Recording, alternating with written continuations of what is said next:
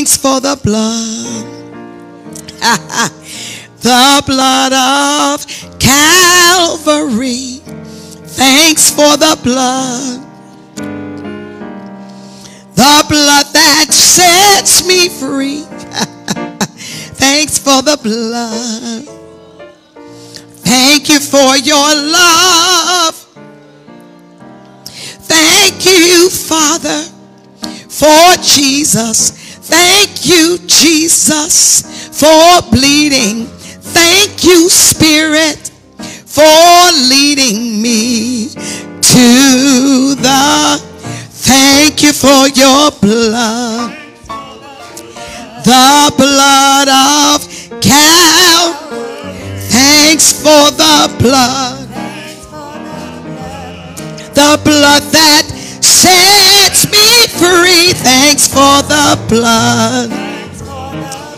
Thank you for your love. Come on. Thank you, Father, for Jesus.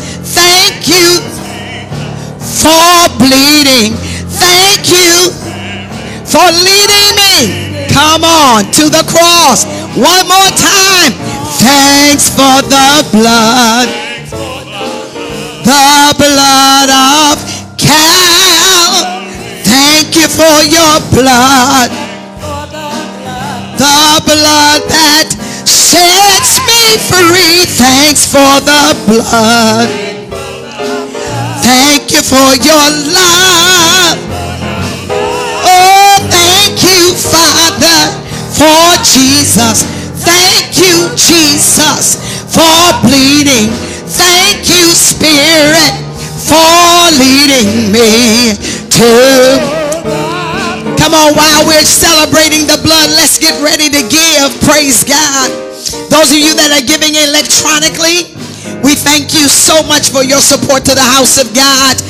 Cathedral family, you are amazing. You are just amazing. You have been so faithful to support the house.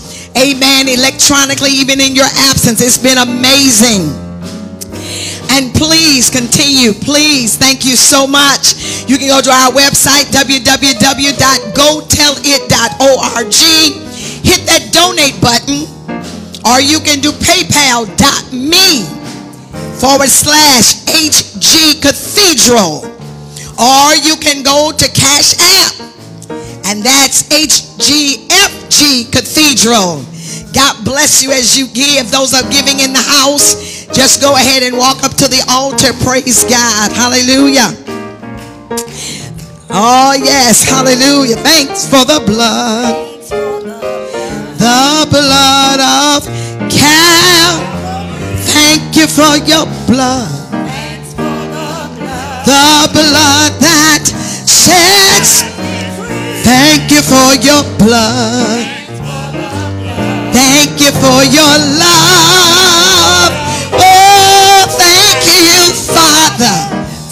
Jesus. Thank you, Jesus, for bleeding. Thank you, Spirit, for leading me to. Come on, one more time. Thank you for your blood, Jesus. The blood of Calvary. Thanks for the blood.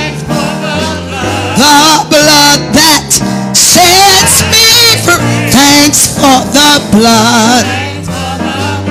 Thank you for your love. Oh, thank you, Father, for Jesus. Thank you, Jesus, for bleeding.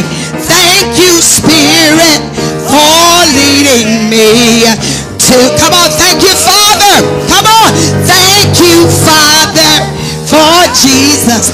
Thank you, Jesus, for bleeding. Thank you, Spirit, for leading me. I dare you to do it one more time. Come on, thank you. Thank you, Father, for Jesus. Just for bleeding. Thank you, Spirit, for leading me. Thank you, thank you, Father, for Jesus. Jesus, for bleeding. Thank you, Spirit, for leading me. One more time, thank you, Father, for Jesus. Thank you, Jesus, just for bleeding. Thank you, Spirit.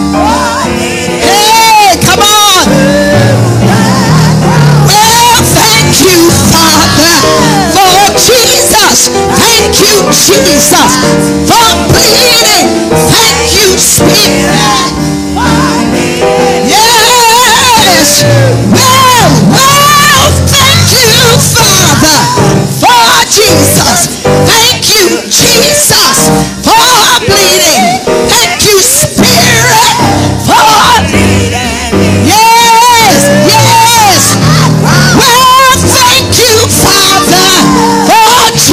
Jesus.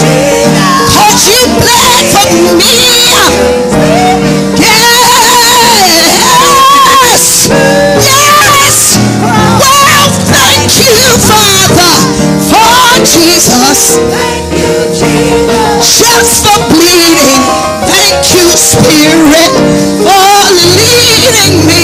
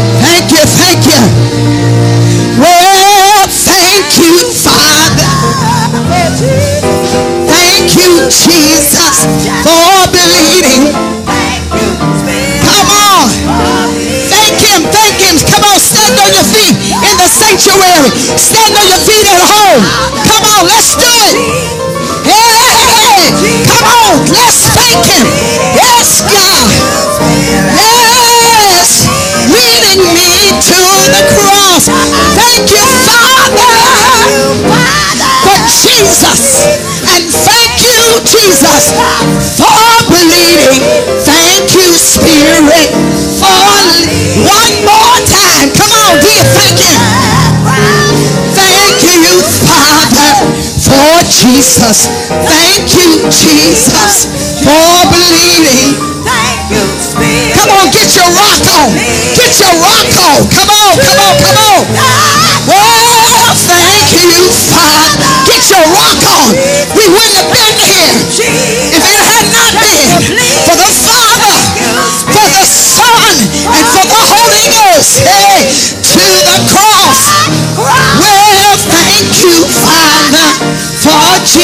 Jesus.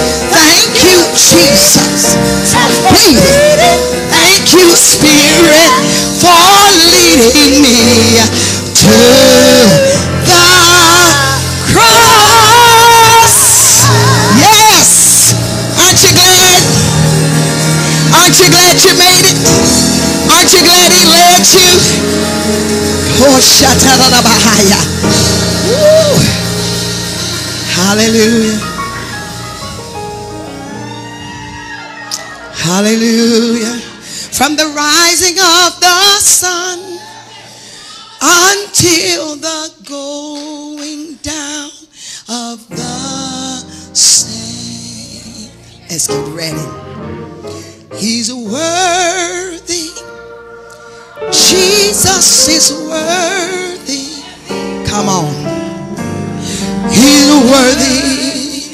Your Bibles.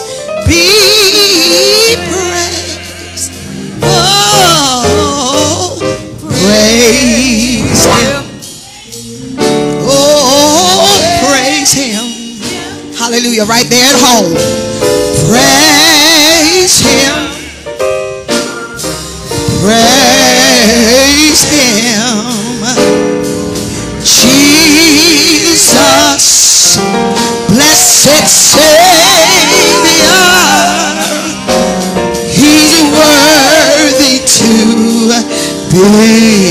To. Let's do it again. Everybody praise him.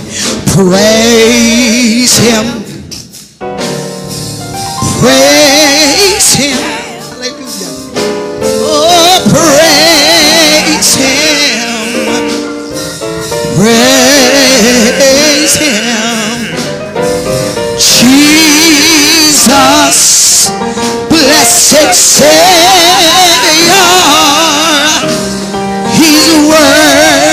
To be praised.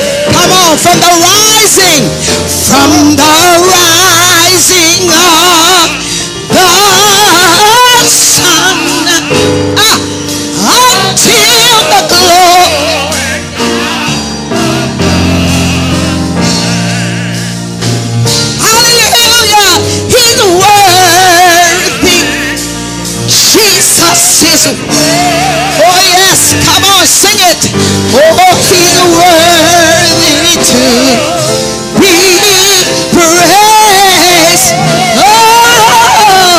Oh, praise him. Come on. Oh, praise him. That's the church. Come on. Praise him. Oh, yes. Praise him. Jesus, blessed Savior. Oh, he's worthy, worthy to. From the rising of the sun, from the rising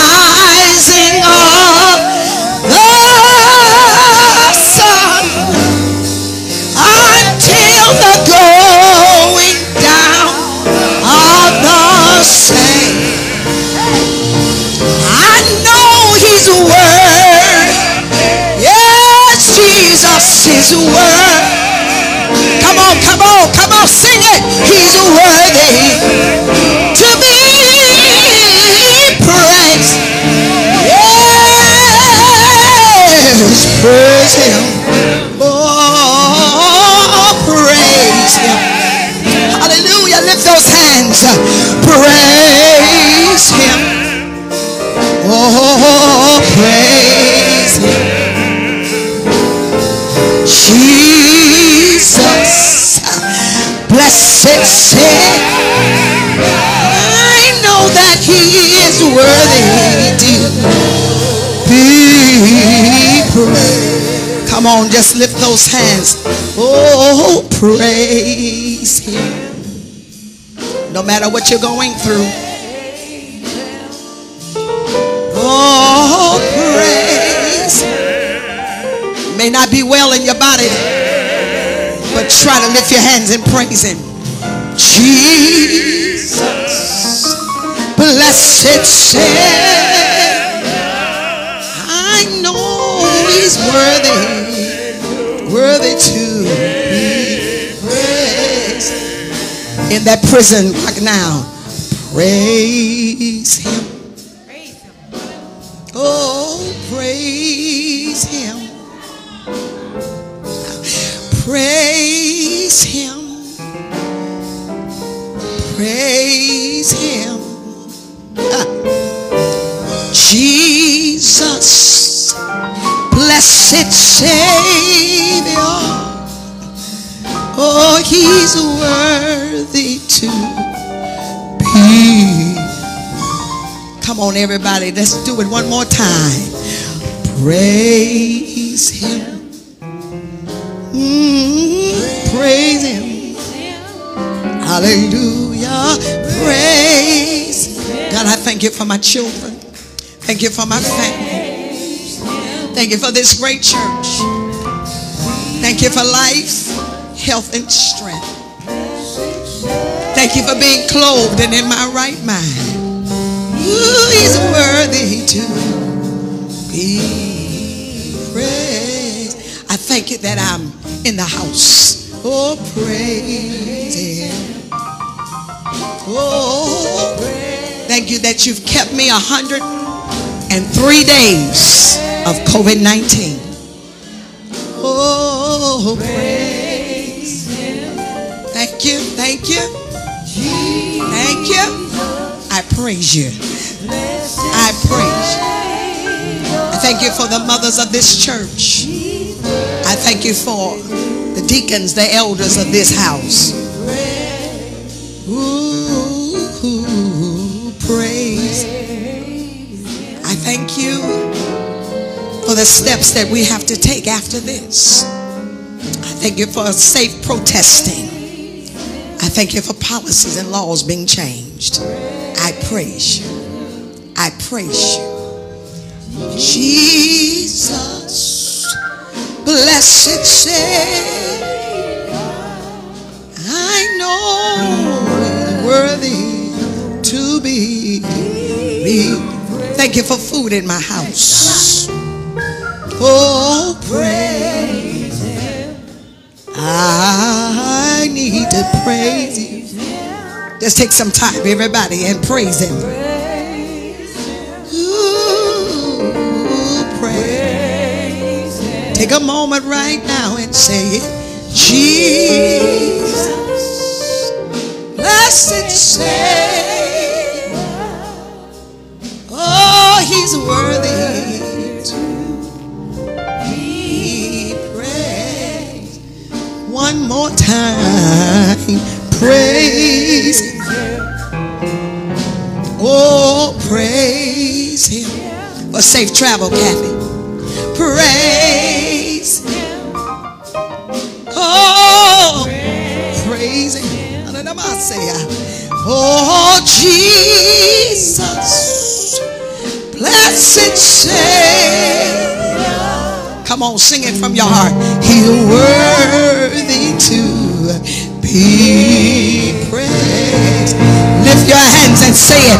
From the rising of the sun ah, until the going down of the same sun.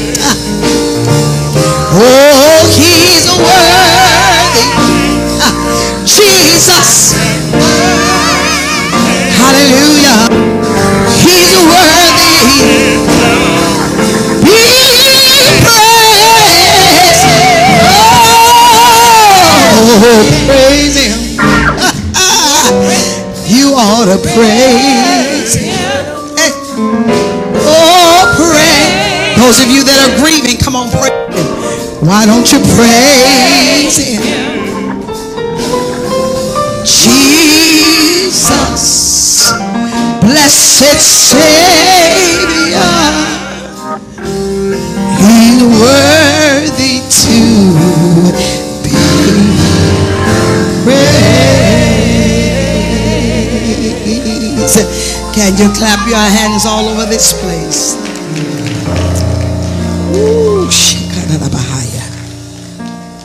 This is my Bible. It is God's word to me, and I believe what it says. And who it says I am, that's who I am.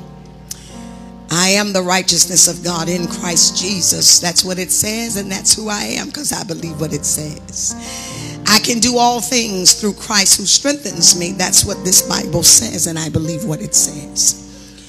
So today I'm ready to receive the next impartation of the Word of God. And with my heart, I shall believe the Word of God. And where I have need of change, I shall be changed by the Word of God. And when I have heard, received, and then believed, and then applied the Word of God, I'll never be the same again. Whew, in Jesus' name, amen. Join me in Romans chapter number six once again. Our pastor has brought that to our attention, the reading, and she's lifted it up. And I want us to see it again, if you would, for the first time. Amen. Hallelujah. And as we are now in the fourth Sunday, I believe, of Pentecost, I want to move us toward some teachings, some more teachings on the Holy Spirit in this season. Hallelujah. Thank God for his word. Amen. Verse 11 Likewise, you also reckon yourselves to be dead indeed to sin and alive to God in Christ Jesus our Lord. Therefore, do not let sin reign in your mortal body, that you should obey it in its lust. And do not present your members as instruments of unrighteousness to sin, but present yourselves to God as being alive from the dead, and your members as instruments of righteousness to God. And for sin, it shall not have dominion over you, for you are not under law, but under grace. What then shall we sin because we are not under law, but under grace? Certainly not. Do you not know that to whom you present yourselves slaves to obey, that that's the one slave you will obey, whether it is sin leading to death or obedience leading to righteousness. Hmm. But God be thanked that though you were slaves of sin, yet you obeyed from the heart the form of doctrine or gospel to which you now have been delivered. And having been set free from sin, you are now slaves of righteousness. I speak in human terms because of the weakness of your flesh. For just as you presented your members as slaves of uncleanliness and of lawlessness, leading to more lawlessness, so now present your members as slaves of righteousness for holiness. For when you were slaves of sin, you were free in regard to righteousness. What fruit did you have then in the things of which you are now ashamed? For the end of those things is death. But now, having been set free from sin and having become slaves of God, you have your fruit unto holiness and in the end, everlasting life. For the wages of sin is death, but the gift of God is eternal life in Christ Jesus our Lord. And if you would slide over to Galatians chapter number 5, and we'll revisit this. We won't get it all in today, but we're going to visit it throughout the next few times that we are together. Galatians chapter number 5. Galatians chapter number 5. Verse 16. I say then, walk in the spirit, and ye shall not fulfill the lust of the flesh. For the flesh lusts against the spirit, and the spirit lusts against the flesh. And these are contrary to one another, so that you do not do the things that you wish. But if you are led by the Spirit, then you are not under the law. Now the works of the flesh are evident. Adultery, fornication, uncleanliness, lewdness, idolatry, sorcery, hatred contentions, jealousies, outbursts of wrath, selfish ambitions, dissensions, heresies, envy, murders, drunkenness, revelries, and the like of which I tell you beforehand, just as I've told you in times past, that those who practice such things will not inherit the kingdom of God.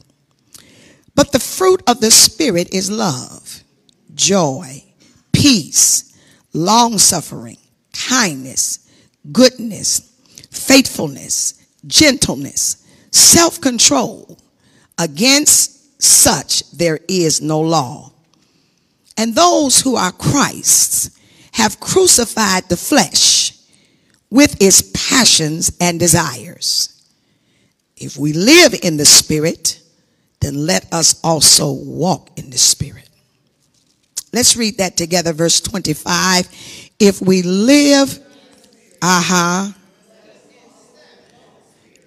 and one translation says, let us be in step with the Spirit. Is that right? Let us walk in the Spirit. Let us be in step with the Spirit. And let us not fulfill what?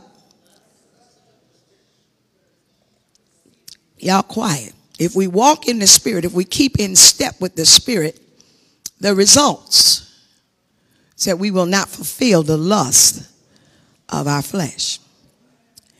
You may be seated in the presence of the Lord. I, I want to talk about the sanctifier. The sanctifier. The Holy Ghost in this season, I believe, is doing many things. He gave it to me these last 40 days that he was a comforter. But as I have been seeking the Lord, I am compelled to go another 40 days. Praise the Lord. Hallelujah. Thank you, Lord. and uh, we're going to be focusing on the ministry of the Holy Spirit as a sanctifier.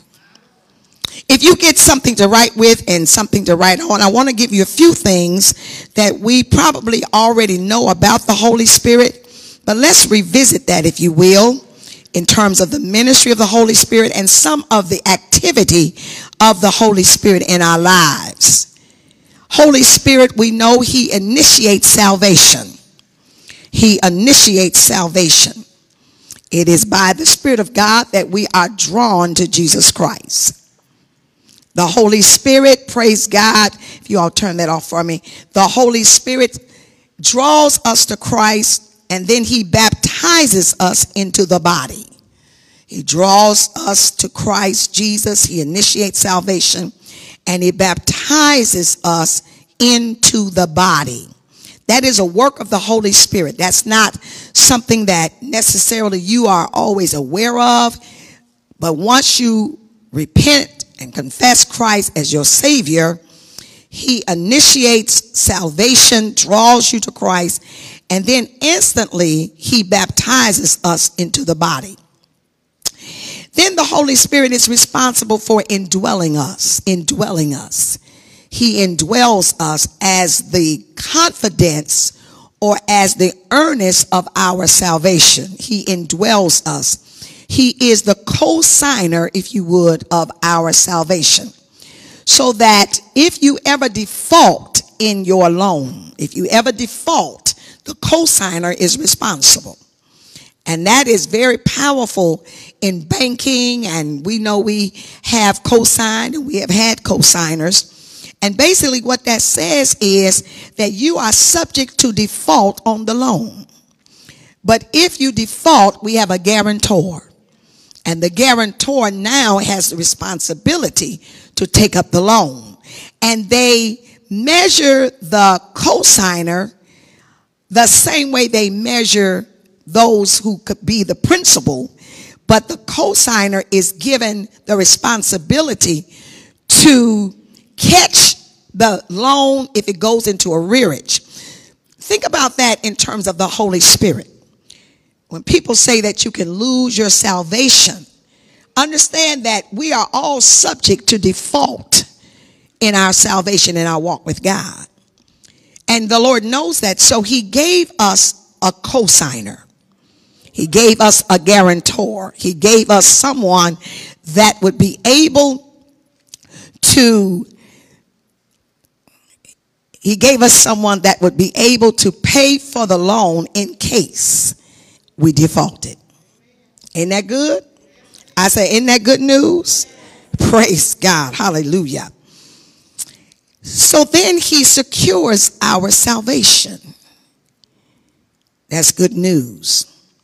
Then the Holy Spirit is given to us to convict us when we do wrong. Convict us of sin, convict us of righteousness. Holy Spirit then produces repentance in our lives. He convicts and he leads us to repentance. Holy Spirit regenerates us or regenes us. He gives us the new code of Christ. The DNA of our lives is changed by the working of the Holy Spirit. Then the Holy Spirit justifies us. He causes us to stand before God as if we have never sinned. The Holy Spirit illuminates us when it comes to the word. Since he breathed upon it and caused men to write, then he knows the deep things. He knows the hidden mysteries of the word of God. So he illuminates. Holy Spirit guides us. He is a leader and a guide. The Holy Spirit is the spirit of truth. And I've been really pounding this. He keeps us in the truth. His role and his assignment is to take us to truth and keep us, to hold us, to restrain us. It's the Holy Spirit that, that speaks to us and says, now you know that's not truth. The Holy Spirit says to us, stay in the truth. Stay in the truth. You know that's not the truth. Whether it's a action, whether it's a word, whether it's a habit, an appetite, the Holy Spirit is the spirit of truth. And his role is to keep us in the truth. Somebody should say amen to that. The Holy Spirit helps us with our submission to Christ. Holy Spirit helps us with our submission to Christ. Here's something the Holy Spirit gifts us. Gifts, G I F T S. He gifts us. It's the Holy Spirit's gifts and giftings that are in our lives. Not just the nine gifts of the Spirit, but also the gifts of wisdom and discernment, administration, helps. He gifts us. He gives us the gifts that we can help him to build the kingdom of God. Hallelujah. The Holy Spirit guarantees our eternal life. It is his responsibility to lead us from earth to glory and to present us to our Savior. Hallelujah. Without fault, without blame, without wrinkles or such things. Amen. The Holy Spirit strengthens us when we are weak. He strengthens us. He is a comforter. He strengthens us. He is our helper. When we cannot help ourselves, he helps us. Holy Spirit gives us a new heart. Thank you, Jesus. I said the Holy Spirit gives us a new heart. Hallelujah. The Bible says that he will give us a new heart and put his spirit in us. And the spirit of God keeps working in us and we will obey his commandments. It is not us that obey, it's the Holy Spirit in us that helps us to obey the word of God. Hallelujah. Somebody ought to say amen. I'm teaching really good. Amen. And then the Holy Spirit intercedes for us. He prays for us according to the will of God. He prays for us while you're sleeping. Yes, there are times when we participate in prayer but know this you're not the only person praying for you, the Holy Spirit is praying for you. Holy Spirit is praying in the earth realm, Jesus is praying in the heavenly realm. Somebody ought to say, Yes, God. How many of you need all of those prayers? Let me wave my two hands. Come on, wait. I need, I need the Holy Ghost to pray in earth, and I need Jesus to pray in the heavens. So the Holy Spirit makes intercession between earth and heaven. Then between heaven and the Father, Jesus is interceding. So the Holy Spirit takes up whatever it is that we need from heaven and presents it to Jesus. And Jesus presents it to the Father. The Father then answers the Son. The Son gives it to the Holy Spirit. And the Holy Spirit brings it to us. Isn't that delicious? Isn't that wonderful? Praise God. Jesus said he will take from what is mine and he will make it known unto you. So understand that this wonderful intercessory prayer ministry of the Holy Spirit is going on at all times. Watch this with groanings that you and I cannot utter. So he's praying when we're not praying. Praise God. Have you ever been in a situation where you couldn't pray? I have. I've been in some spots. I've been in some tight spaces where I couldn't really pray. Come on now. But the Holy Spirit is already there. He was there before I arrived. And he prays for us according to the will of God. The Holy Spirit helps you with your spiritual walk. Holy Spirit helps you to grow up in the Lord. Holy Spirit helps you with maturity. It is the Spirit of God that allows us to hear the word and quicken the word in us. It's the Holy Spirit that allows certain situations and circumstances to come in our lives and he causes us to grow from those events. He called, that's the Holy Spirit. Because if it was not for the Holy Spirit, you and I could get bitter. You and I could get evil. You and I could get mean. Come on, somebody. But it's the Holy Spirit. It's the Holy Spirit that helps us to walk through the valleys of the shadows of death. It's the Holy Spirit that helps us to, to get over a bankruptcy or get over a foreclosure or get over a marriage or a divorce or get over uh, various losses of job or people. It's the Holy Spirit that walks with us. It's the Holy Spirit. You would think you would totally collapse and die and not be able to get through it. But the Holy Spirit said, no, no, no, I got you. I got you. And you're going to be all right. Amen. On the other side of this, you're going to be just fine. Somebody ought to clap your hands for the Holy Spirit. Hallelujah. And it's the Holy Spirit that on the other side of the test, it's the Holy Spirit that gives you the testimony. That's the Holy Spirit that causes us. It says the eyes of our understanding will be enlightened that we would know the hope of his calling and the exceeding greatness of his promises and that we would know the power, the power to those that believe and that it is the same power that he used when he raised Jesus from the dead. That's the same power that he has given us. He has given us the same Holy Spirit that he gave Jesus. The same Holy Spirit that was upon Jesus Christ is upon our lives. Amen. Are y'all hearing that? That is great news. Praise God. But here is something that is not often talked about, and that is the Holy Spirit as a sanctifier. Hallelujah. The Holy Spirit as a sanctifier. Y'all not going to say nothing.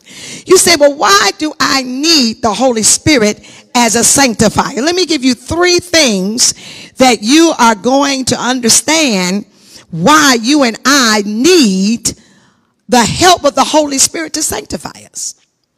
Number one, God's standards are impossible.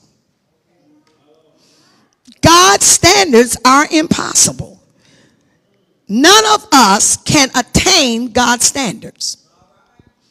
They are impossible for any human being to attain. God's standards are so high. God's standards are so beyond our human ability that we need help to be holy. Okay, nobody gonna say nothing. He says, be ye holy as I am holy. Come on now. That sounds good when we preaching it. It sounds good when we teaching it. But the reality is, come on, somebody say it's impossible. Say, say, say to be all right, I can be holy. But to be holy as God is holy.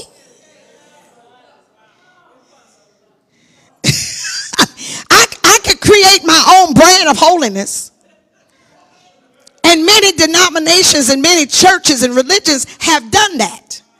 They have, re- they have created a brand of holiness.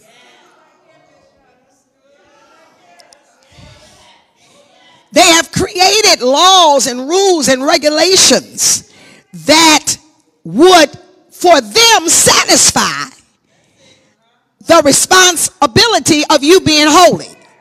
So if you do as we say do, then you're holy. If you wear what we tell you to wear, then you're holy. Everything that we say to you is sin. If you believe that and you you avoid it, then you're holy. But that's a brand of holiness. Anybody ever been down the generic aisle? Y'all not gonna say nothing to me. Y'all, anybody ever been down the aisle that's, that don't have no real labels on the stuff? Come on, I, I very seldom visit that aisle. I just rather pay the extra money for the real raisin brands. I don't know what's in that box. Come on, somebody. Let me just save my money and get me the real Frosted Flakes with Tony the Tiger on it. Because I know what's in that box. Y'all not saying nothing. I know that cornflakes are good. But I know frosted flakes are great. And I, I, I, I, see the little Froot Loops in the bag, but it don't have no label on it.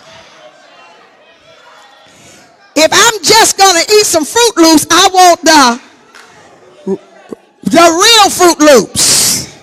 Y'all ain't saying nothing. Come on, stay with me. Anybody ever been down the generic aisle?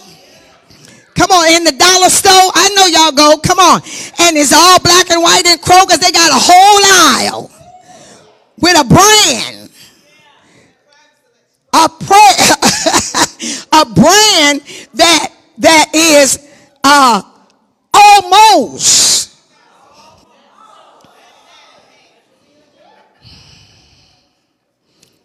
almost and that's what religion tries to do is to give you a brand of holiness.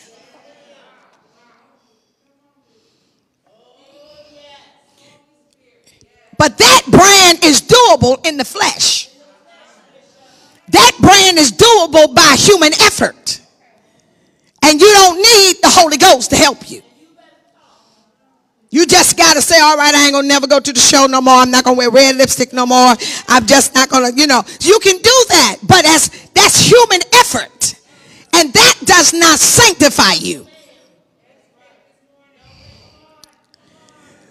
But when God says, be ye holy as I am holy. Well, now you know it's not about a show because I don't think God has a problem with going to the show. I don't think spirit, I don't know it. I don't know. I don't know about God, but in the show, I don't know. I, it can't be lipstick. It can't be jewelry because everything around God is jeweled. But that's a that's a brand. But God says, "Be ye holy as I am holy." So God is spirit. God is working on truth in your inward man. And let me just tell you that that is impossible for you and I to obtain. Ooh, come on, somebody. Somebody say it's impossible. The second reason that we need the sanctifier is that our foe is a formidable foe. You say, well, who is our foe? Your flesh. It ain't the devil. The devil ain't your foe. The foe that we all face, that Paul spoke of in Romans 6 and in, and in Galatians 5, he didn't say the works of the devil are. He didn't say, he didn't say, oh God, y'all not going to hear me today. He, he said, mortify the deeds of your body. Don't kill the devil.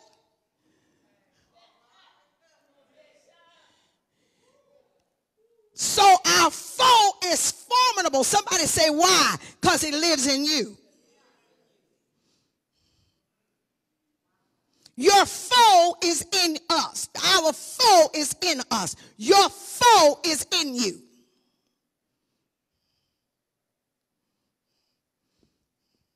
You sleep with your foe. You eat with your foe. You travel with your foe. You are never any place without your flesh. Nobody gonna say nothing to me now.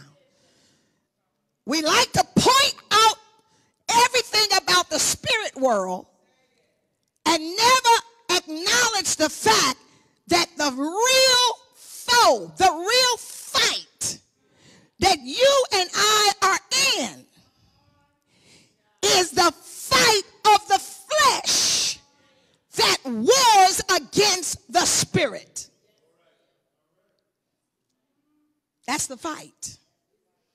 Hallelujah. And even when we got saved, the flesh is still present.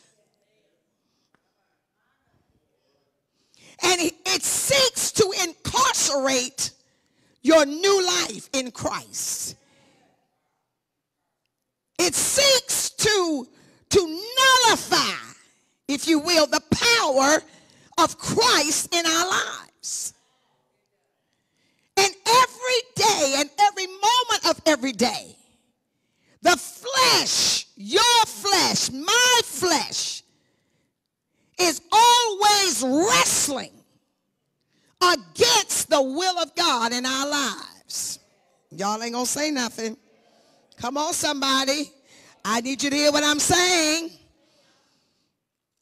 And we cannot ever be perfected by human strength. So we need help. Oh, hallelujah. And this is very seldom taught in terms of the Holy Spirit will help you with your flesh. oh, yes, I want to cast out devils. Oh, yes, I want to raise the dead. How about the Holy Ghost help you with your flesh? Just help you with your attitude. Just help you with your mindset. Just help you with your social life, your religious life, your moral life, your love life. How about that? your financial life. The Holy Spirit has been given to us by God to help us with this foe called flesh. What is the flesh? The flesh is a combination of the soul and the body. The soul, the will, the intents, your mind, your desires, your appetites, your lusts, your passions. That's your soul. And it uses your body as its mechanism. It uses your body as its soldier. The soul, come on now, tries to regulate the soldier of your body and cause your body to obey it in all of its lusts and passions and all of its drives. And we always got drives. Come on, somebody. Uh, we got drives. We all got drives. And so the soul man, the soulish man, until it is converted by the word of God, will constantly, always be lusting against God's spirit. It will always resist. It will always fight God's spirit in your life. So we need help. We need, we need help, folks. And I, I, know whenever I preach messages like this, y'all love it when I preach good messages to make you feel better. But I need us to hear these kinds of messages. I can't be a shepherd. I can't be a good pastor. And I don't help you with your flesh. You don't like it when I when I have to pound on something. You don't like certain messages I preach. I understand that. I, I realize that some messages are G, you know, general acceptance. I, I know some messages are R that give a little tight, but I know some messages are X. Like, excuse me. and that might be one of those today. Because in Pentecost, wouldn't it be awful that we exit Pentecost with power, but still living in the flesh? Still, still bound by the flesh. And it's totally possible. It is possible to be greatly used by God. Come on now. And still have a fight, a formidable fight with your own flesh. We don't like it. We don't like it. When the Holy Spirit says, I, I was slicing some tomatoes last night. Uh, some reason, we were talking about tomatoes in a family, and I was mentioning some tomatoes with Shannon and April for some reason. I don't know why we were talking about tomatoes. And anyway, I just desired to have some tomatoes. So my last outing to the store, I got me some nice tomatoes, and they got perfect. And so last night I was slicing. My intent was to eat that whole tomato made me a little salad and made me a little scrambled eggs on the side. I was going to slice some tomatoes. And uh, I sliced one. Oh, they were so pretty and red. Two. Perfect. You know how they, you know, be green and kind of hard at first. And now they juicy and red. Itaba. And then I sliced three. And the Holy Spirit said, that's enough.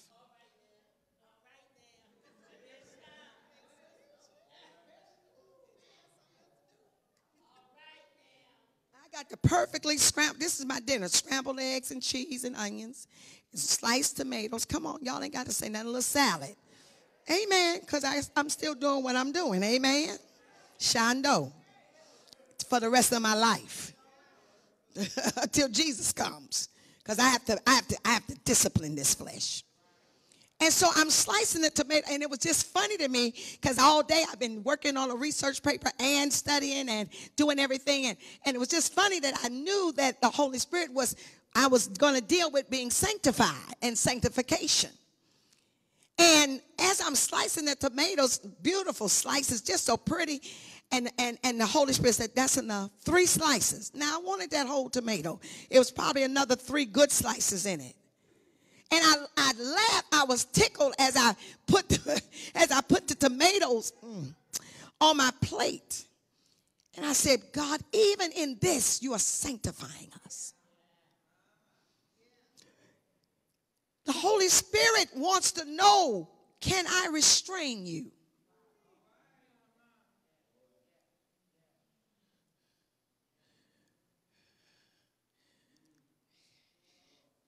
If I can't restrain you in tomatoes, then I know I can't restrain you in a hamburger. And if I can't restrain you in a hamburger, come on, then I know I can't restrain you in the french fries. Y'all ain't saying nothing. I'm going someplace. Just stay with me. I'm where you like me now, but I'm going where you don't like me then I know I, I can't restrain you in the way you respond to things. I, I know if, if I can't check you right here, then that means that there are other areas in your life that you don't allow me to sanctify.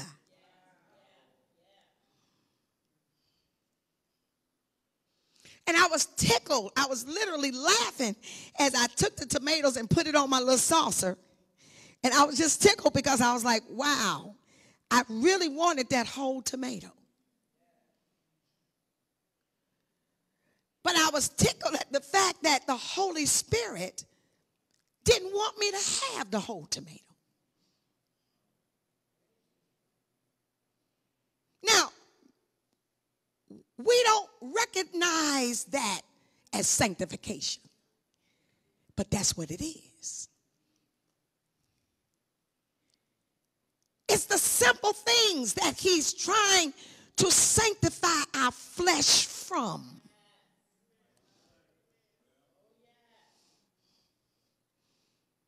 It's not always adultery and fornication, and some of us get off there. Oh, that ain't ever been my problem. That ain't that. But can you eat three slices of this tomato?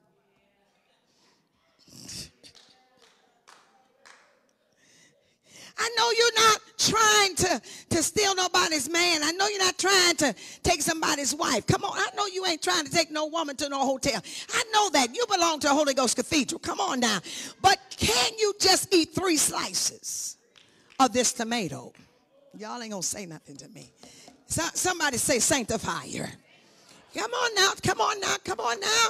And, and, and it was already late, and I'd been just kind of up all day and working this, this particular paper. Whew. And so I'm just already there and just, uh, as I look up and it's 11, I haven't had anything to eat. And, and so I said, what can I eat? So I'm going to have this, ooh, that tomato looking so good. Mm. Mm, child, I'm going to put me some ranch dressing and some seasoning. I got some of that, that Mexican seasoning. I'm going to slice me a little avocado. Woo, child, I'm gonna having a little scrambled eggs and cheese.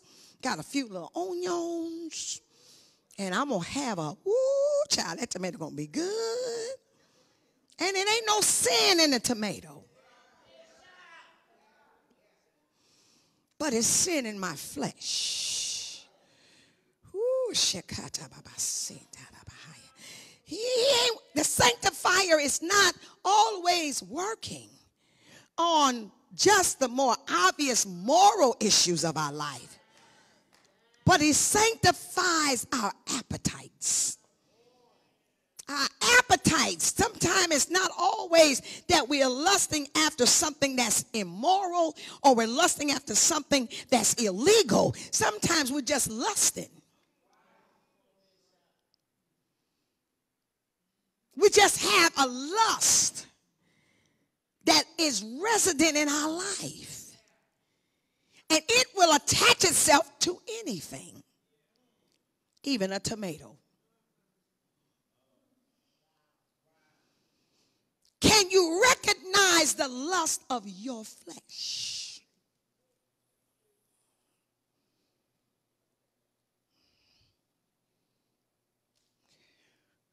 I, I, I, was sitting in my office all day, sitting in that chair. I've come to realize that I need a different kind of chair. So I went online and I said, I need a chair with a footrest because as you sit all day and the blood goes down to your to your ankles now, I began to see. I said, Oh no, no, no, no, wait, wait, wait. Lucy devil. So I went online, I found the perfect chair. I thought it was perfect, perfect colors, got a footrest, leans back. I said, Oh, yeah, that's what I need since I'm in this chair all day, starting at six in the morning. And uh, I clicked. It says add to cart. I put it in the cart. Holy Spirit said, don't buy that.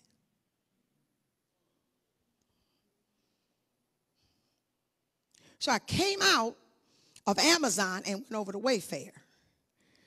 And there it was again. I said, mm. Then I, he said, I said, don't buy it. All right, so here I am with my smart self. Come on, somebody. And there it is cheaper at Home Depot. And Home Depot said, we will deliver it. We will assemble it and deliver it. I said, Shondo. I put it in the cart. I got three carts. Holy Spirit said, don't buy it.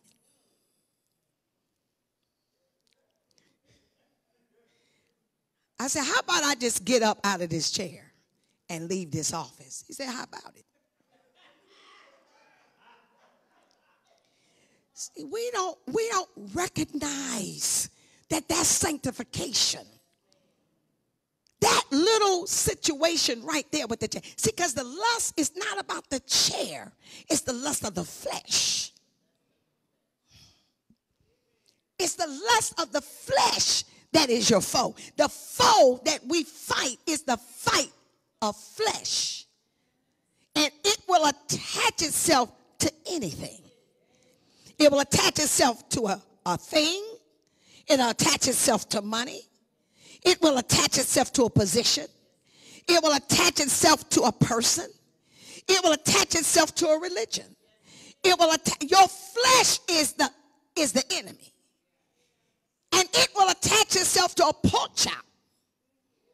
It will attach itself to a tomato. Y'all ain't saying nothing. See, this stuff ain't innocent, folks. This, this ain't innocent. It will attach itself to M&M's. It will attach itself to anything. It will attach itself to CVS. It will attach itself to the hair salon. It will attach itself. It doesn't matter what the object is. The object ain't your problem. The object is your flesh. And your flesh will attach itself, fall in love with, lust after, desire anything.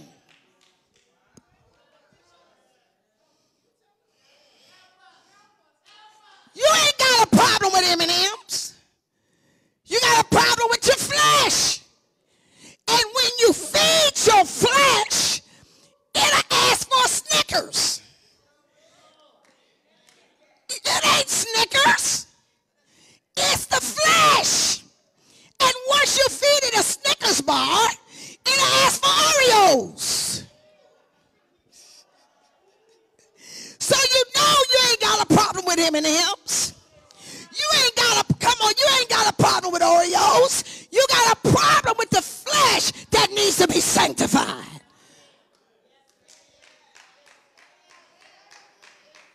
And the ministry of the Holy Spirit is to sanctify us from our own flesh. Oh God, I'm teaching too good. I'm teaching good. I'm teaching good. Y'all ain't say nothing. You can go go go to the to the doctor and, and, and have weight loss surgery and still gain weight. How many times have I seen it?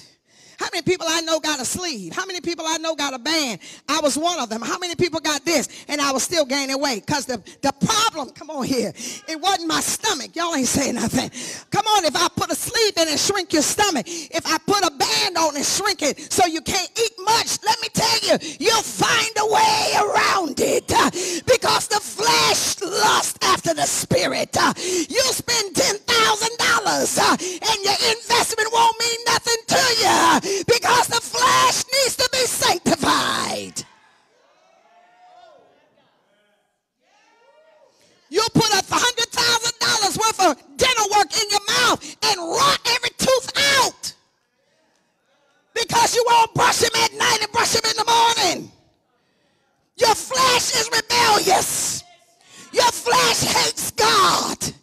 Your flesh is uh, is haughty and prideful and arrogant against God. It's hostile against God. And because you don't die, you still know it's wrong. Because the Holy Spirit is a convictor. You know you ate too much.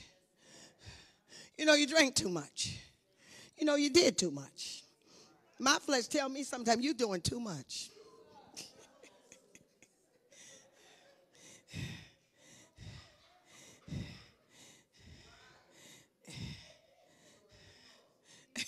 you is too extra today. I want you to get off that Facebook because you're being extra today. See, sanctifying me. Fill me with the Holy Ghost. Let me speak in tongues. Let me preach. Let me minister. But don't sanctify me.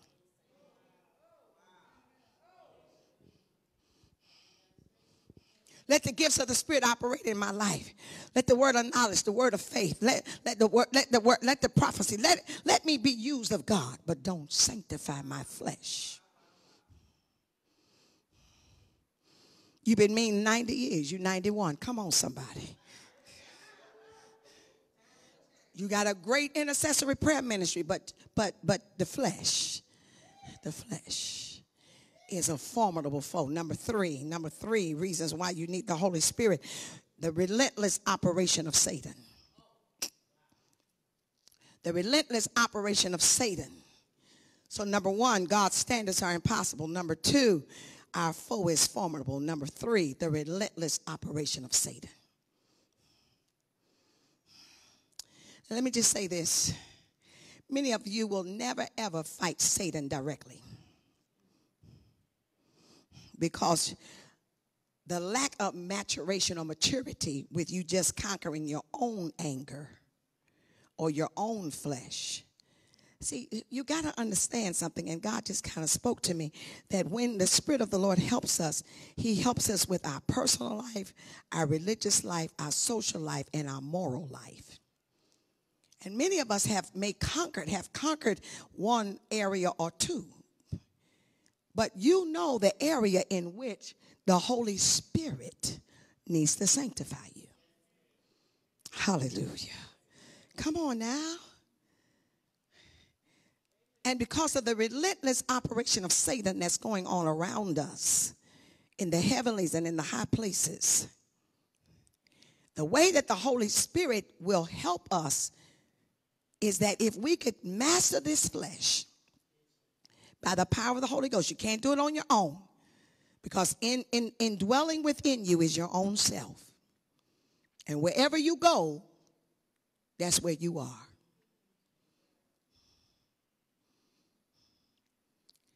But the masterful plan of the devil is to always keep us looping around. It's always around. The enemy is always around trying to keep us in that same fleshly loop, that cycle.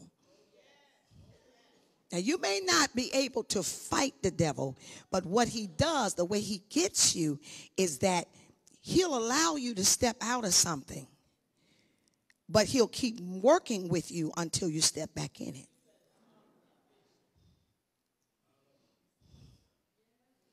He'll allow you to say, okay, you're free now. You're free. Come on out. Yeah, and you be like, yeah, yeah. Ooh, I finally broke my addiction to Oreos. I finally broke my addiction to lying. I finally broke my addiction, my addiction to pornography. I haven't looked at pornography for seven months. I, I haven't looked at another woman or another man. I haven't done it for five years. I haven't picked up a cigarette in 20 years. But the relentless operation of Satan Y'all ain't going to hear me. Can I teach a little bit today? I know you don't like these kind of messages. You like them G message, but this is an X message today. And it's for you. Praise God. But the relentless operation of Satan, though he doesn't have to fight you directly, is that he keeps you in the cycle of your flesh. He don't care nothing about you being free for 20 years. He know you ain't free. And he knows that it could be any event that could trigger you to go back. He knows what it takes for you to be triggered, to operate the same way you operated at 15, even though now you're 55. And you may not have acted out for maybe 20 years but because of the relentless operation of Satan, so that he can always accuse you before God. Because he is the accuser of the brethren. He don't care nothing about you being saved. Care nothing about you having been baptized in the Holy Ghost. Don't care nothing about you speaking tongues. What he knows is that if he pushes that button, he don't have to fight you. All he got to do is touch that flesh and once he triggers whatever your trigger is, you may be able to withstand it the first time, the second time, the fifth time, the tenth time. But sooner or later, because he's relentless, he don't have nothing but time.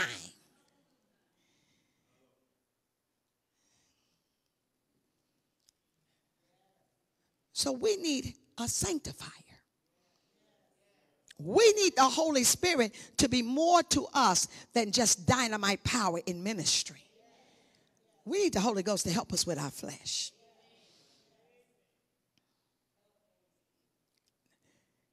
In order for the Spirit of God to help us with our flesh, here we go. You're going to have to have a deep relationship with Scripture. Because the Holy Spirit, He wants to help you with the flesh. But you've got to put some scripture in your heart because it is the engrafted word of God that helps to save the soul. You have got to have a deep, convicting, consistent relationship with Scripture. And the reason that the Holy Spirit has such pushback from us reason that the Holy Spirit has such resistance from the people of God is because we don't have no scripture in us. The Holy Spirit works in agreement with the Word of God. You see, when you begin to read the scriptures and you begin to see what pleases God and you begin to see what doesn't please God, then you say, oh, wait a minute. So when the Holy Spirit brings that to your remembrance, you see, I read that in the Word. Now, Holy Spirit, help me, sanctify me in this area.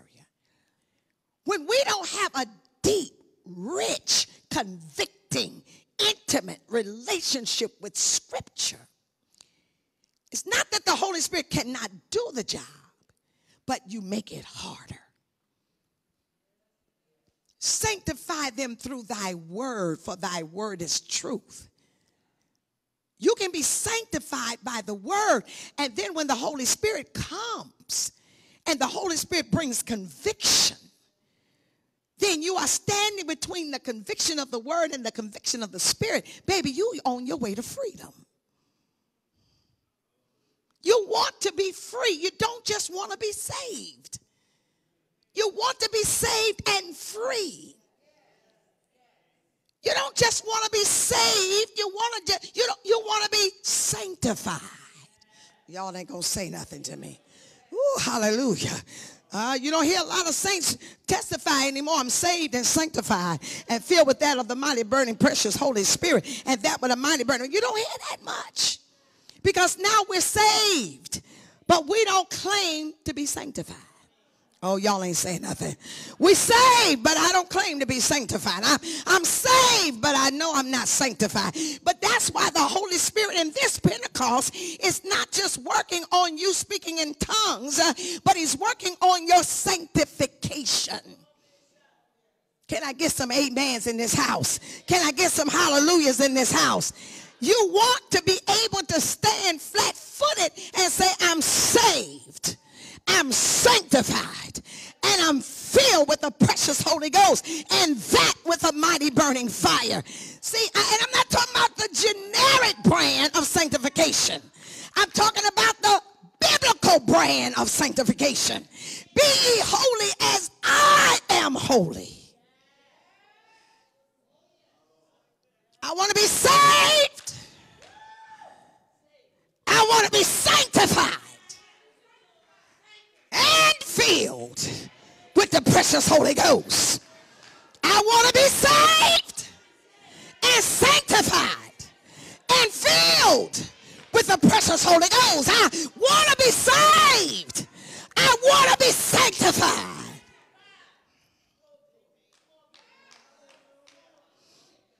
Paul says you you got to reckon yourself as dead, folks. You the Holy Ghost, I'm telling you, if it's down to a tomato, the Holy Ghost won't let you have everything you want.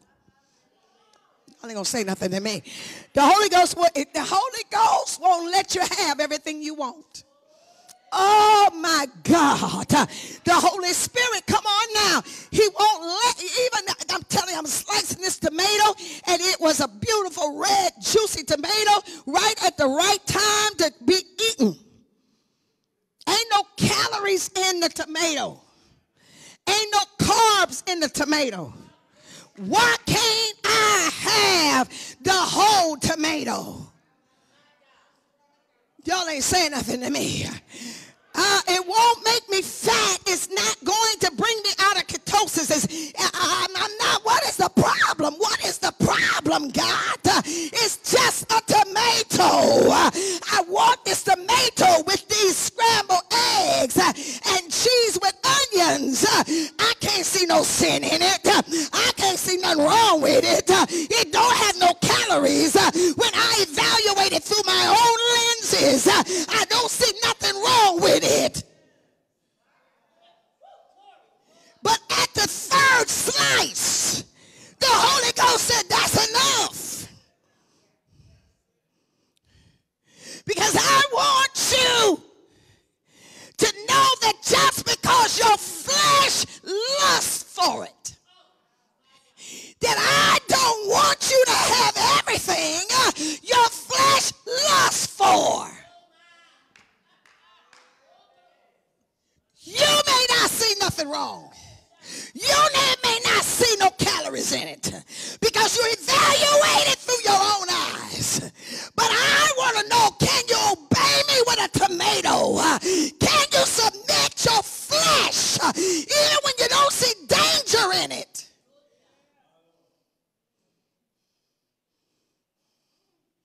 I want to be saved. Paul said, you Galatians, you started in the spirit. And now you're trying to be sanctified by the works of the flesh. And the Judaizers have come in and told you that you can't experience or you can't have the expression of God unless you get circumcised and follow the rituals of the law. But you started in the spirit. And now you're going to go back to the law. You started in the spirit. Galatians 3 said, I birthed you in the spirit. And now because I haven't been there for 14 years or so, now these Judaizers, these fake missionaries, these generic brand preachers have gotten in there and now they're trying to convince you that in order for you to experience the fullness of God, that you got to come through a Jewish code of circumcision. He said, who has bewitched you?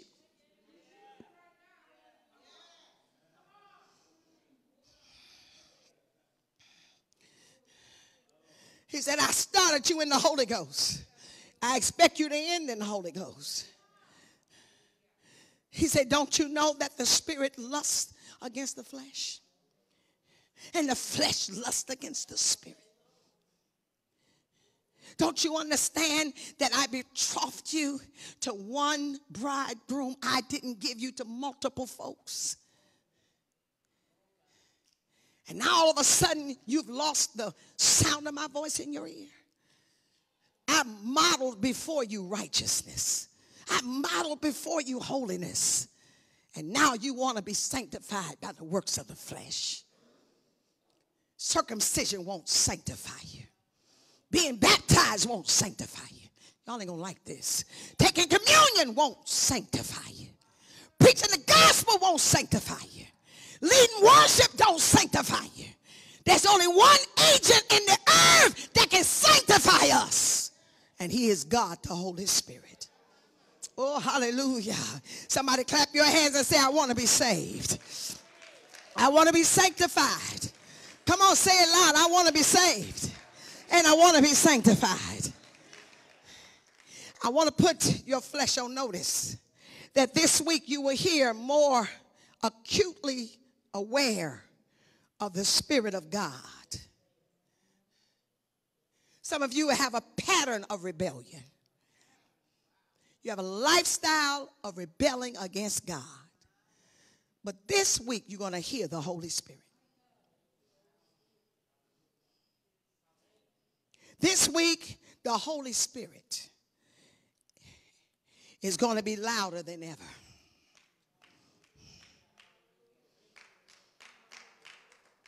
This week, conviction is going to be not hidden under the noise of your music or the noise of your busyness. That this week, the Holy Spirit is going to begin his work that he started. When you got saved, he's going to be sanctifying us. I don't just want to be saved, folks. I don't just want you to be saved. I want you to be sanctified.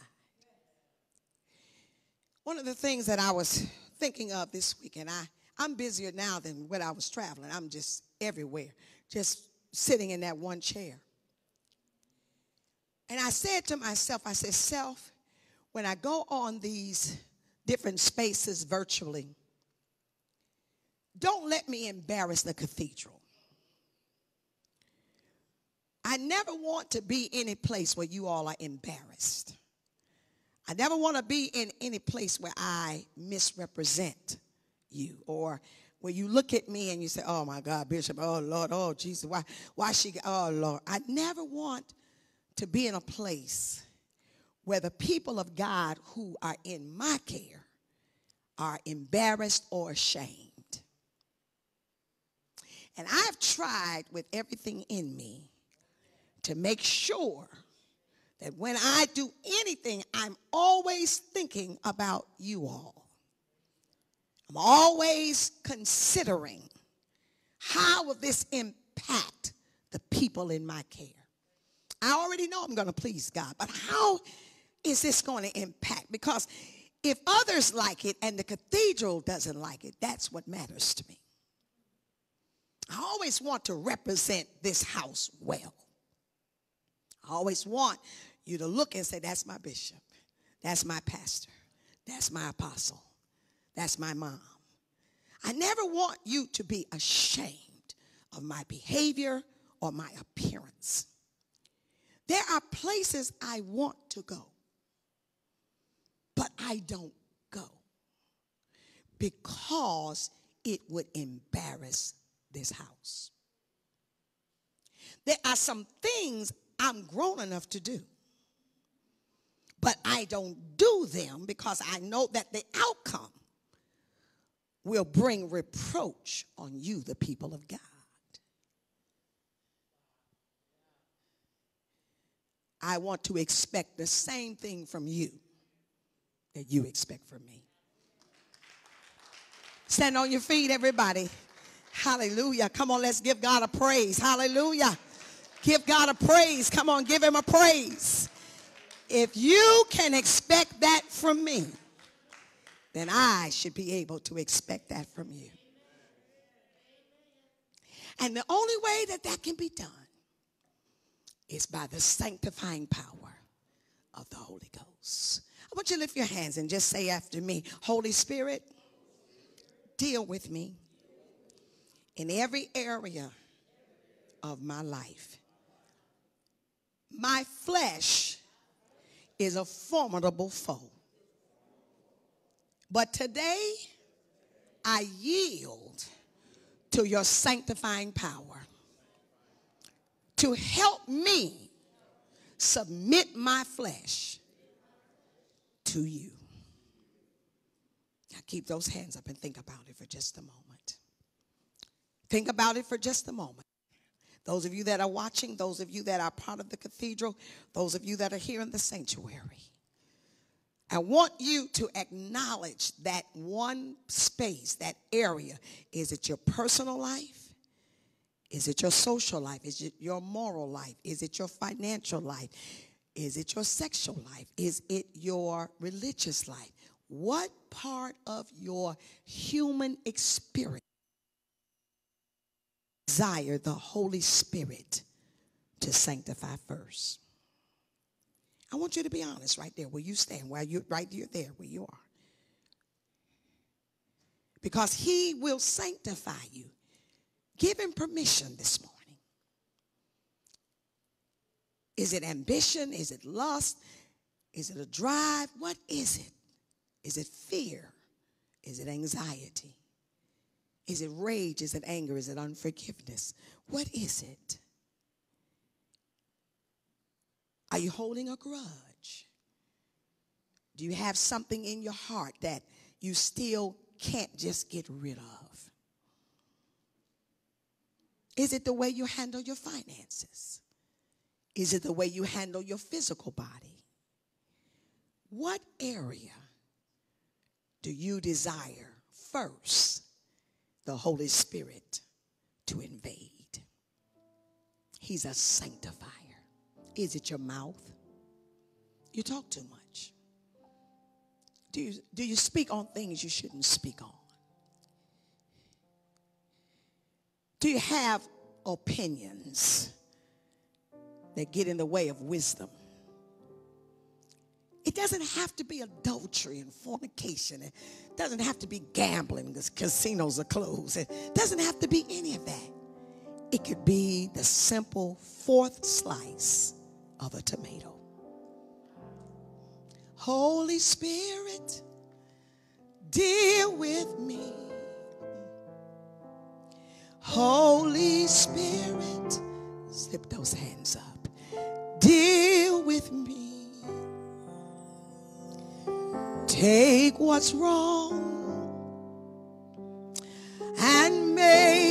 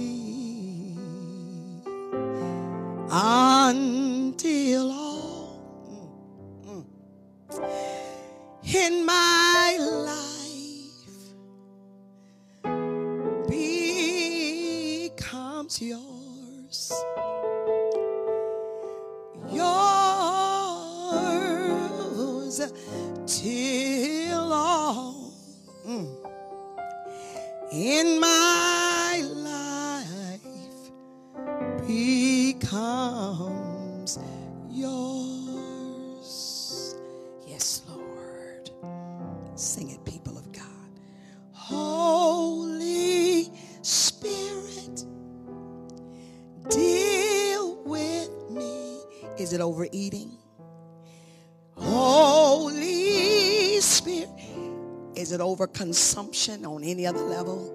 Deal with me. Come on.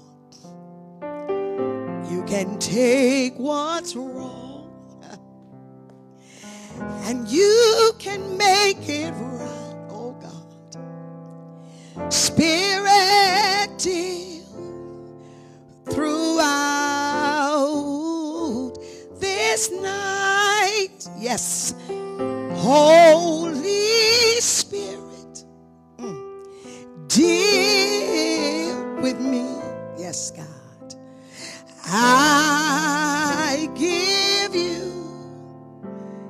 temper? Authority.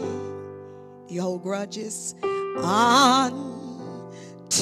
all, yes, God, in my life, yes, Holy Spirit, becomes yours. Thank you, Father. I want it to be yours until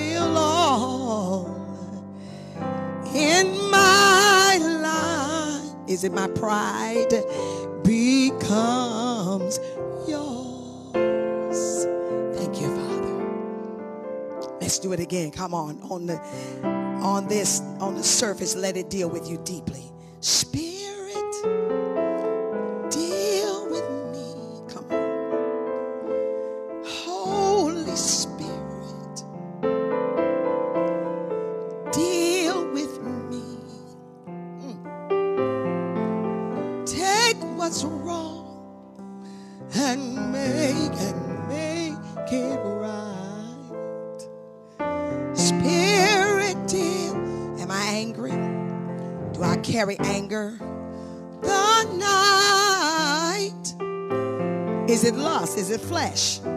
it sexual sin? Is it immorality?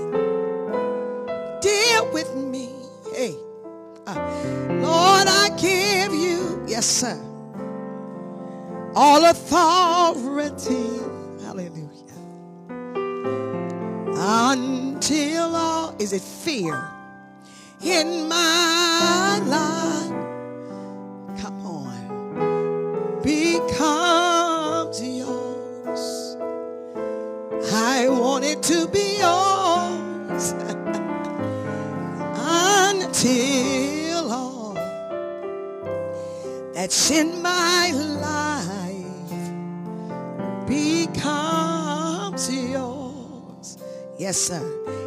I deal with money? Oh, Holy Spirit, mm, deal with me. Am I lazy? Holy Spirit, do I have problems with completion? Deal with me. I can start, but I don't finish. Take what's wrong. You can make it right. Yes, sir. Spirit deal throughout this night. Holy Spirit. Yes, sir. Is it childhood hurts, trauma? I give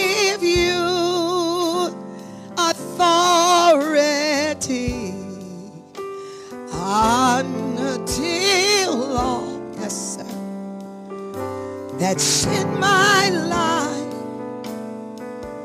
becomes yours under your control. Oh, oh, oh, oh. oh. until all, yes, sir, that's in my life becomes yours under your management and under your control until all that's in my life, yes, sir, becomes yours, yours, and only yours. Until all in my life, yes, sir, becomes yours. Help me with my tongue, help me with my thoughts. Yours.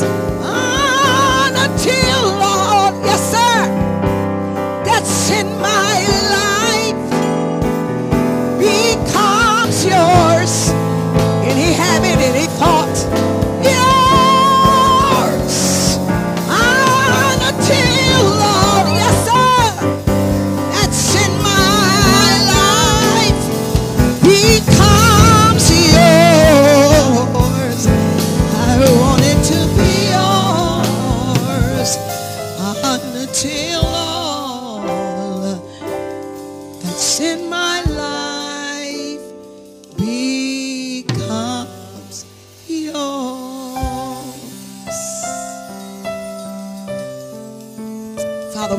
you for the gift of the Holy Spirit in our lives.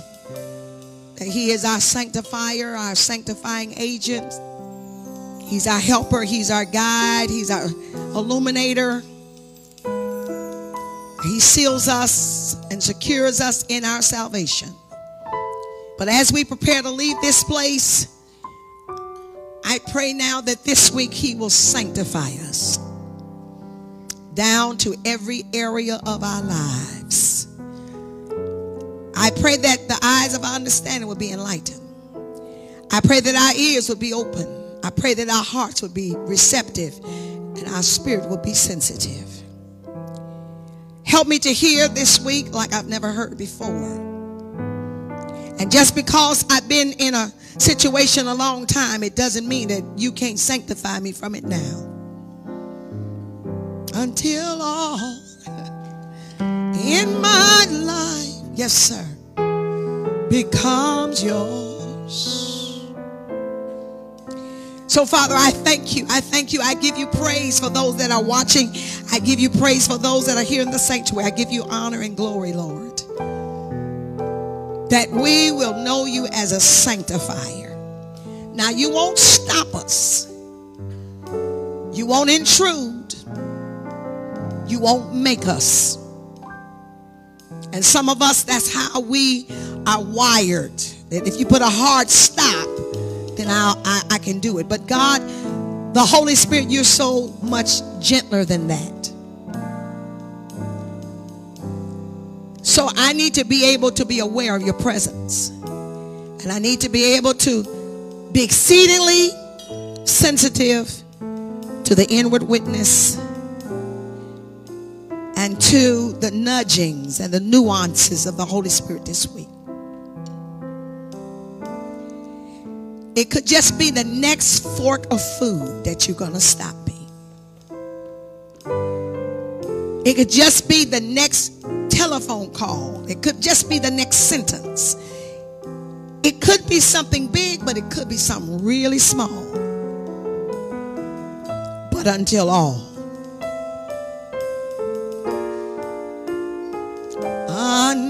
Until all. Come on.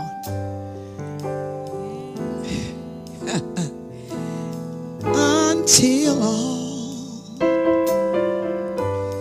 Mm-hmm. Until all. Ooh. Until all. Could be shopping. Until all. It could be just something real little that I keep just not giving in on. But until all in my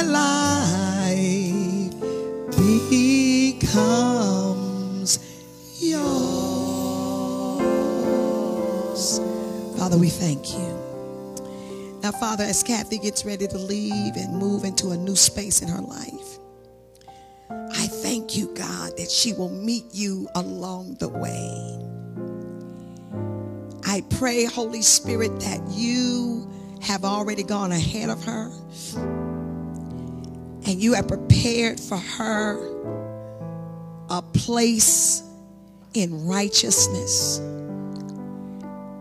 a place of significance, and a place of impact. I pray, God, that her spirit will yield to the Holy Spirit in every area of her life. I pray that any wall that needs to come down will come down, and any gate that needs to go up will go up. I pray that this is not a season of exploration or a season of casting off restraint, but it's a season of maturity and development and sensitivity to your voice as never before.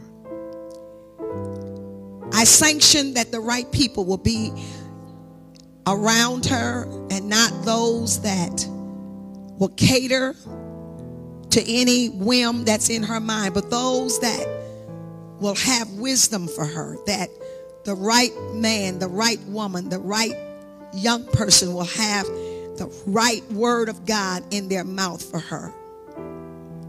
I pray, God, that you will surround her with the saints, that you will surround her with godly people. Maybe they're not churchified, but they're godly. I pray that every open door that you have ordained for her will continue to be open, and every door that you don't want for her will be closed. I pray that this will be a great season. These next five years will be an amazing time and season for her to find your will for her life. And so now let the blood of Jesus be traction to those tires on that airplane and in those cars. Let the Spirit of the Lord be with her and the great host of heaven be behind her and be her rear guard and protect her from all harm and violence. Protect her now from witches, warlocks, and mobile demons. Protect her now from anyone that has manipulative ideas about her or for her. Cause her to hear you readily and steadily. Cause her to know you as never before. Give her hunger and appetite for your word like she's never had before. Thank you for the new job. Thank you for the new place in school. Thank you for all of the new assignments. But let the old God, the God of her father, the God of Leon Glover, I told her. The God of her father. The Holy Ghost of her daddy. The gospel that Leon preached. That it surround her.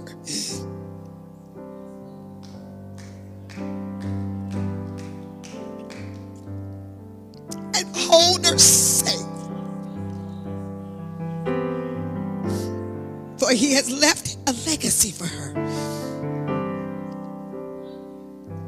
He has left the gospel, the cross, the upper room, and the blood for Kathy.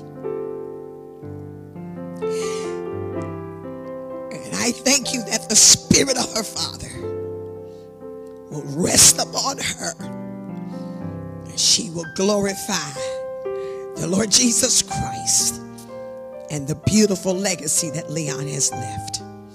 She is well, she is safe, and she is saved. And we give you praise. That every time we see her, she'll have a testimony of how good God has been. Keep her from her own folly, protect her from her own flesh protect her from the craziness that that comes in all of us and comes to torment us protect her from that. Let leon be everywhere she is. Let her meet someone named leon. Let her run into her father.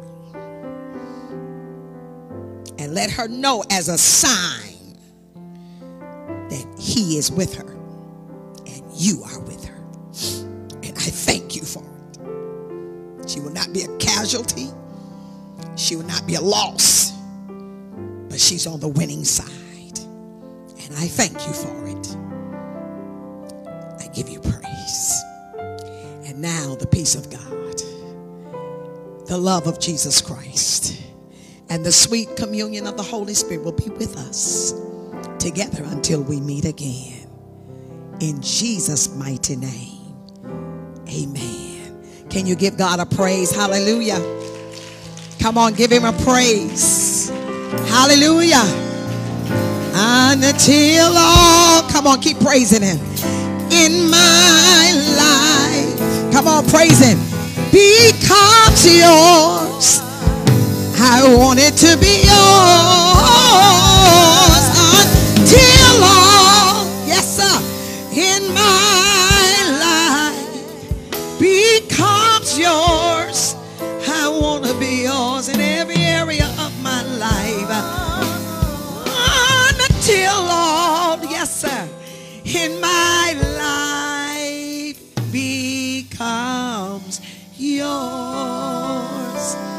Hallelujah. The peace of the Lord is with you. Join us on Tuesday nights on our call in line. Join us on Saturdays Zoom. Praise God for our children at 9:30. Amen. Dial in on Tuesday nights for our Bible study. That number is 1 605 313 5156.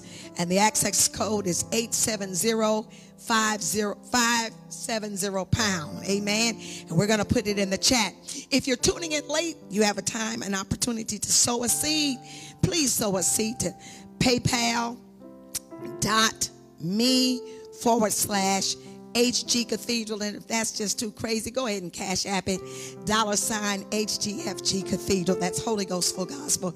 Hey, I'm Bishop Corletta Vaughn. Join me Monday through Fridays at 7 a.m. for another 40 days on the power of the Holy Ghost and his sanctifying message. Those of you that are watching, please share it. Start a watch party. Amen. And get other people. And when we open to your comfort level, please come and visit us. Until then, the peace of the Lord is with you. Come on and give God a praise everybody. Hallelujah. Give him a praise. So let the church say amen. God bless y'all. Have a super day. Have a super week. Let the church, come on, say amen. God has spoken. Don't forget to take your communion. So let the church with you say amen. God bless you. Have a good time this week. Amen. Enjoy the holidays. Come on. Come on. So let the church, come on, say amen. Oh, yes. So let the church say amen. If you haven't given, do it now. God has spoken. So let the church Come on. Come on. Come on. Amen. Because it goes as far as Ghana, Jamaica, Honduras. Social media has been a very great blessing because we've been able to market it on social media. But I was amazed that the first time I did a Facebook Live this year, 11,000 women said yes. 11,000 women said yes. So I believe that there's millions out there that just need somebody to help them, just need someone to encourage them. That's what I'm called to do. I know it. Some of them are nurses, doctors, educators. They're in all spheres of society, but yet they've heard the voice of God to go tell them.